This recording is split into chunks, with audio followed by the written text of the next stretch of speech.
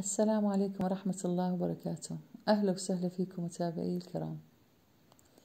وصفتنا اليوم طريقة عمل مربى الكرز بطريقة سليمة ومضمونة وأفضل من الجاهز. تابعوا الفيديو الأخير نشوف طريقة التحضير. ونبدأ بسم الله والصلاة والسلام على رسول الله صلى الله عليه وسلم. في البداية راح أغسل الكرز. عندي كيلو ونص من الكرز الأحمر. راح أغسله بشكل جيد وأتركه حتى ينشف من المي تماما. راح أبدأ بإزالة العيدان والبذور من حبات الكرز. أفضل طريقة لإزالة البذور هي الطريقة القديمة. مجرد ما نضغط بإيدنا على حبة الكرز راح تطلع معانا البذور بكل سهولة. راح يطلع معها قليل من الماء فنحتاج لهذا الماء يعطي المربى لون كثير جميل. أما الكرز طعمه يختلف ممكن يكون حلو ممكن يكون حامض. الكرز الحلو لكل كيلو من الكرز نحتاج إلى كيلو من السكر إذا كان الطعم حلو. أما إذا كان طعمه يميل للحموضة ممكن نضيف كيلو وربع.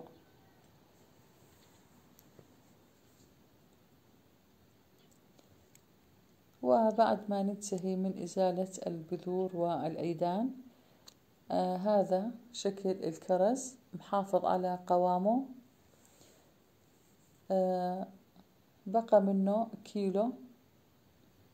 راح أضيف له كيلو من السكر. راح أضيف السكر وأخلطه بشكل جيد وأحركه من وقت إلى آخر. راح أتركه من أربع إلى خمس ساعات حتى يذوب عندي السكر.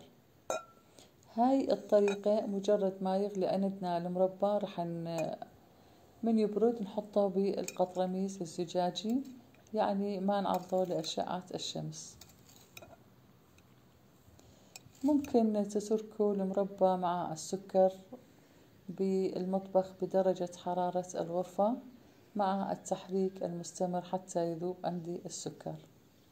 أما إذا في عندكم شمس ممكن تحطوه بالشمس من خمس إلى ست ساعات وتغطوه حتى يذوب عندكم السكر تماما. أنا حطيته بالشمس. راح نشوف مع بعض الكرز بعد ما ذاب. راح نحطه بطنجرة الطبخ. ونحطه على نار متوسطة.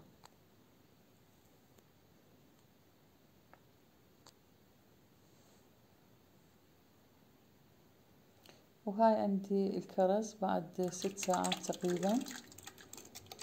راح نحطه على النار تكون النار متوسطة في البداية مع التحريك من وقت إلى آخر.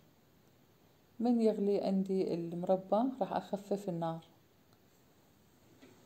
راح أضيف كوب من الماء. وبدأت تتشكل عندي الرغوة راح أشيلها. كل ما تشكل عندنا الرغوة راح نزيلها بالملعقة. وضروري تكون الملعقة جافة من المي تماما.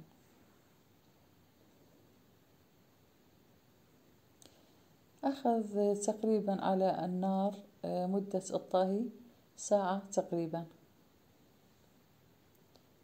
وبدأ المربى يغلي وبدأت حبات الكرز تتضاعف. ما شاء الله تغير لونها. راح نبدأ بعملية الاختبار. راح نضيف قليل من القطر أو الشيرة تبعت المربى. نحطها بطبق. من يلتصق القطر على الطبق يعني إنه المربى جاهز. ونضيف له بالمرحلة الأخيرة. ملعقة صغيرة ملعقة الشاي من ملح الليمون. بعد ما نضيف ملح الليمون راح نتركه خمس دقائق يغلي على النار. تكون النار هادئة. مثل ما تلاحظون أعزائي حبات الكرز ما شاء الله لونها جميل وقوامها مثل ما هو. هذا دليل إنه إزالة البذور بهاي الطريقة أفضل لحبات الكرز. من نلاحظ إنه بدأت تظهر هاي الفقاعات بهذا الشكل عندنا المربى جاهز راح نطفي النار.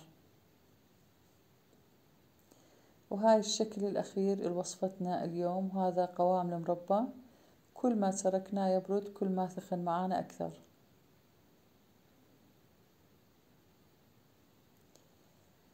راح نحطه بعلب زجاجية ونترك العلب على الهواء حتى يتشكل طبقة أو غطاء على سطح العلب الزجاجية. هاي الطبقة راح تحمي المربى وما تخرب معانا حتى لو ظل سنتين. وصفتنا خلصت اليوم. أتمنى تستفيدوا منها وتجربوها. وصحة وألف عافية. أشكركم كثير على حسن المتابعة والمشاهدة. تحياتي لكم وأترككم بأمان الله وحفظه. والسلام عليكم ورحمة الله وبركاته.